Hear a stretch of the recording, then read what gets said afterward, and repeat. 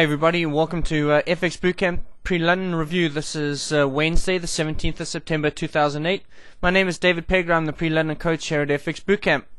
Alright, this is a, uh, quick overview of what we covered in class today. Uh, a, a, few things going on first of all. Let me uh, thank all of you that came to see us at the Forex Trading Expo this last weekend in Vegas. Um, for those of you that came to the booth and hung out, it was a pleasure meeting you all, and I hope you got something out of our presentations. And uh, looking forward to meeting you in class sometime. Well, folks, a tumultuous time in the market. I, uh, there's no secret there.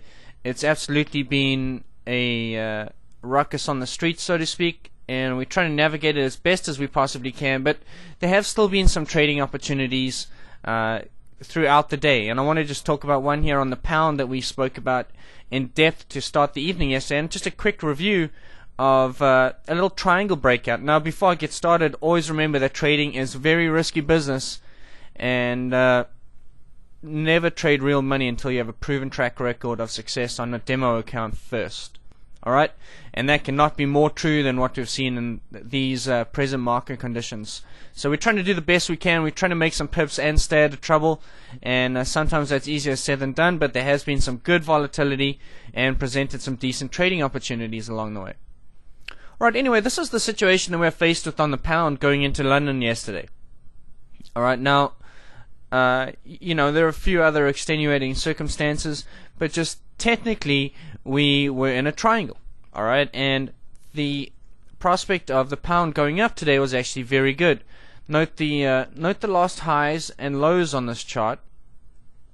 Okay, I mean we've obviously been in a string of dollar strength over the last few weeks, and we always looking to trade in the direction of the trend. But as a trader, you always need to realize when something has obviously changed in the market. Well, if you take into consideration these previous lows and highs, and then the fact that we created, you know, higher highs and higher lows, uh, in effect creating a, a new little uh, shorter term uptrend, so to speak. We'd redefine trend if not intraday, okay? So we had permission to start looking upside for the pound, and if I just zoom in a touch here, it was pretty obvious when we walked into London today that we had ourselves a big fat triangle. and You might even consider it a flag formation. You know, if this is your flag pole here, then this is the then this is the flag itself for the pound dollar, alright? Or the triangle. So all that we did all that we did is we just traded this as a triangle breakout. Okay? Nothing more complex than that. And uh, it got a little bit tricky to be honest with you. It's worked out worked out subsequently in New York, but uh, things got a little bit tricky to start the day. Uh, we had a, a, couple of ugly emotional reversals throughout the day. But anyway, let me go through how we calculated our profit target. Okay, all we did was we simply took the major swing high and, and got the calculator, and then drug that down to the obvious bottom that had formed up here at a 77.83, and then we just projected two points. Now, uh, my bias for this was to the upside. Uh, for the pound dollar a breakout, but a triangle I always measure both ways. Alright, now my bias to the upside was because of that new transition and trend I just showed you. But uh, I wanted to cater to both directions. As a trader, I'm flexible enough to want to trade it to the downside as well, even though my bias was to the upside. So we, we projected a downside target of 74.49 and then projected an upside target of 82.13. A break of the apex would have seen us at 82.13. So there we go, a couple of very lofty targets to start the day. But the technicals are the technicals, and I'm not going to uh, trade against them if that's what the market's telling me. Okay, anyway, so let's go to a 15 minute and see how this puppy played out.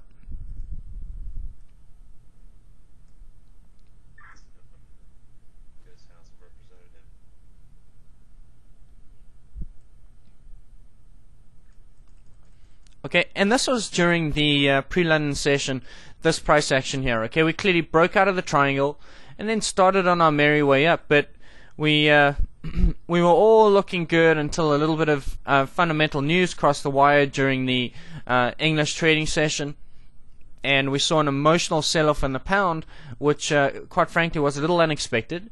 We had minor resistance up here. I wouldn't call it major resistance. We had minor resistance up here, and a retracement before continuation seemed likely, but a full reversal, uh, I don't think we could have catered for. So instead of getting the full profit on this, I think a lot of folks picked up between 80 and 100 pips on the breakout, and uh, were subsequently stopped out in a, a, level of profit. But I wanted to just recap the whole day here because inevitably on the 15 minute, as messy as this was, it was the biggest move ever in gold, and we know that that's dollar negative, and this triangle breakout subsequently worked out. And if you look at it on hourly, uh, or if you actually just erase, uh, it, it, was like the it was like we were good to go during the new during the London market, and uh, you know the sudden the sudden emotional sell off on the pound uh, in the middle of London kind of put the market into a bit of a tailspin, and we consolidated for the better part of London after that.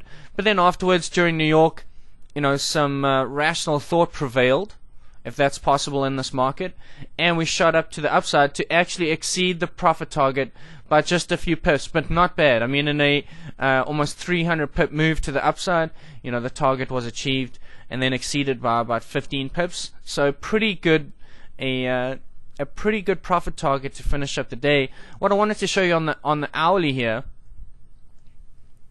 was just classic. Um, was just classic triangle breakout methodology already. I mean, um, sometimes you can look at that. You, sometimes you can take it out to the longer terms and take a bit of stock, so to speak. I mean, it, you know, at no point during the day, even as messy as this was in the London market, at no point in the day did our little trade plan ever change. The triangle was still intact throughout the day.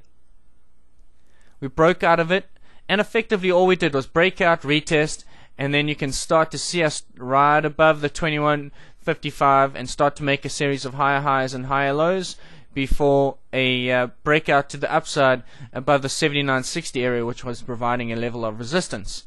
Okay? And then it went up to reach our profit target. So you know from a technical aspect it was just simply a matter of measuring up the triangle measuring the uh, the projection and then waiting and biding our time to insert ourselves into this move in a safe manner and the important thing to to remember here, as messy as it was during London, that nothing changed technically throughout the day, and we were still able to trade the plan. And uh, if you if you had the stomach for it, there were still several hundred pips for you there. Alright folks, that, that pretty much concludes today's daily video. There were many, many other moves to be had. And, uh, you know, there were plenty opportunities. But the bottom line is this is a very risky market. So uh, be safe with your capital and uh, save it for less volatile times and try and be safe out there in the market. Anyway, this uh, concludes your daily review for Wednesday the 17th. Happy trading, and we'll see you in class sometime.